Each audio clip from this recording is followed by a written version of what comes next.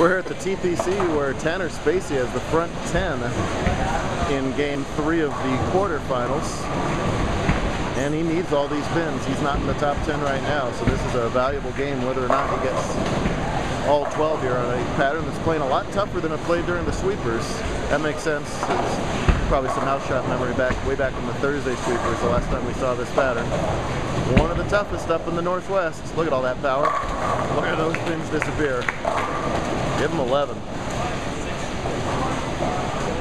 I don't know, Danny, has there been many games over 240 in scratch this morning? Not many, right? No, I mean, he Just here and there. I've got 233. That's about it, right? yeah, So not this very high is way over and above what other people are doing. And look at this, we got a ball return.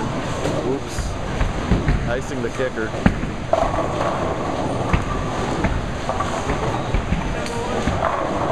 Tez doesn't count, we're talking about human beings. Kyle. Kyle King getting his camera time today. He's, he's worried about making the show.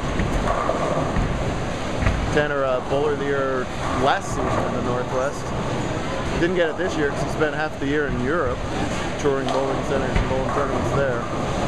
All the talent in the world. We're watching on to see if he can shoot a very impressive 300 here. Looks left.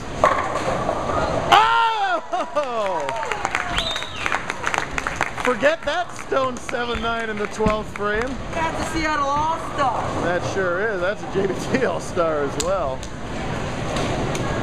What a valuable game for Tanner Spacey right there. And what an interesting 12th ball that was. I'll take it. 7-9, no sir. 300. Great job, Tanner.